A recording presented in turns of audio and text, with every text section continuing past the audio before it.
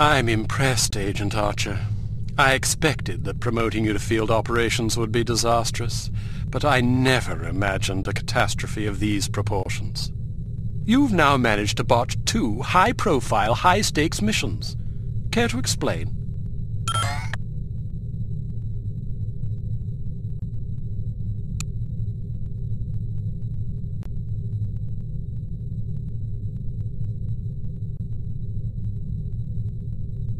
If you can master your animosity enough to address me in a civil tone, I'll attempt to explain in terms you might understand exactly how I believe we've arrived at this impasse, sir. Your inadequacy is matched only by your impertinence. If you find my manners offensive, I suggest you find a line of work more suited to your delicate nature. Gardening, for example.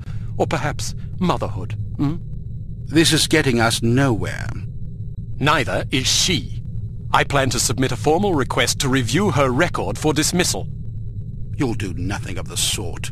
Even if we had the luxury of discharging one of our last remaining operatives, which we don't, there are proper channels to consider.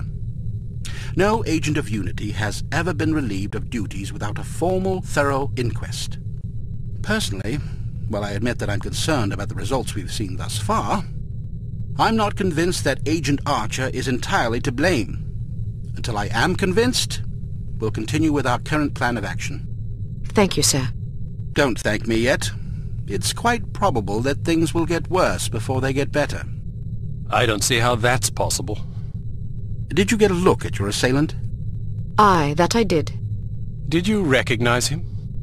Sergeant Magnus Armstrong, born in Glasgow, Scotland, 1925. Frequently in trouble as a lad due to a penchant for fighting. By all accounts, he was a good-natured, likable young man. Never bullied anybody, only picked fights with boys that were game for a brawl. Got kicked out of several schools before his parents finally stuck him in a military academy. During the war, he served as a sapper in France and Germany, everything from mine removal to demolitions and sabotage.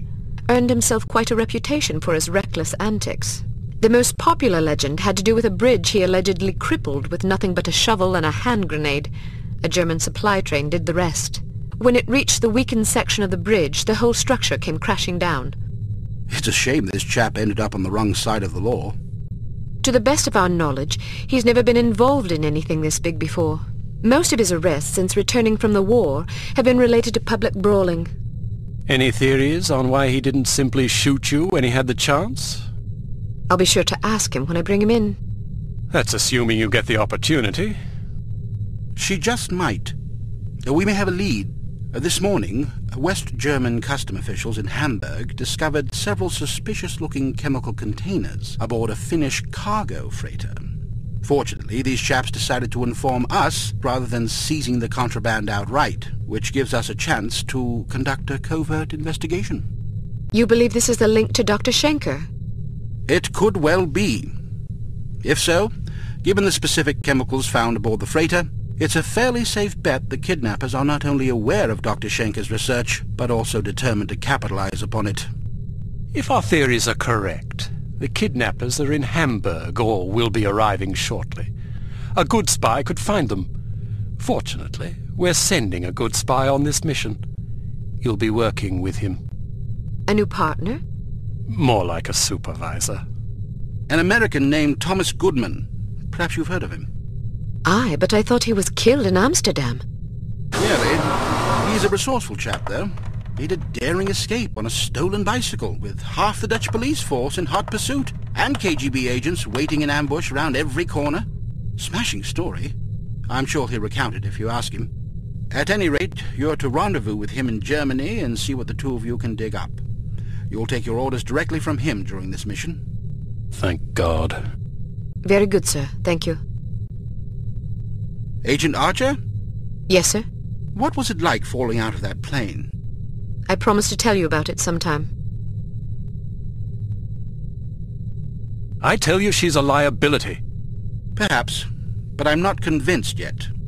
What will it take to convince you? How many more catastrophes must we suffer through? Because keeping her on the active list will lead to further disasters. Of that, I'm certain. Yes, I can see that you are. Our purpose is to preserve freedom, to protect innocent lives, to combat evil wherever it manifests. We can't afford to tolerate anything that stands in the way of that goal. The girl may be spirited, but she's virtually incompetent. I admire your sense of duty, but I question your judgment. I can't say that at my prime I would have performed any better than she under the circumstances. You're assuming her reports are entirely genuine. Personally, I wouldn't be at all surprised to learn that she'd coloured the facts. The bloody things read like adventure novels. So now you're indicting her credibility? Does that seem unreasonable? The girl was a thief, for goodness sakes. A little skepticism seems prudent. I'll take it under advisement. Look, it's not too late to pull her off the assignment. I've read the American's file. He's perfectly capable of handling an operation like this on his own. Probably so. But I have the strangest feeling a woman's touch is exactly what we need on this one. I can't argue with you when you're like this. No, you can't. I hope you realize you're letting yourself be ruled by intuition.